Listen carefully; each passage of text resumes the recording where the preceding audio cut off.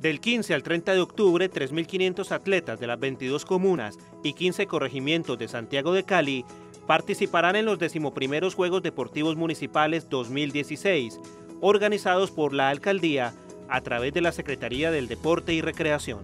Pues la invitación es a que todos los caleños estén rodeando sus Juegos Municipales, son más de 3.500 niños jóvenes involucrados en esta dinámica importante y los papás, los familiares, los espectadores, los caleños que se unan a esta fiesta deportiva que nos cohesiona como sociedad y que, y que hace que demos lo mejor de nosotros como deportistas evidentemente, pero sobre todo como ciudadanos de bien. Las competencias serán en 30 disciplinas y se realizarán en los escenarios mundialistas de la capital del Valle.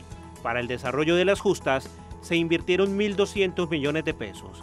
Así, el gobierno de Maurice Armitage trabaja duro por el progreso del deporte en la ciudad.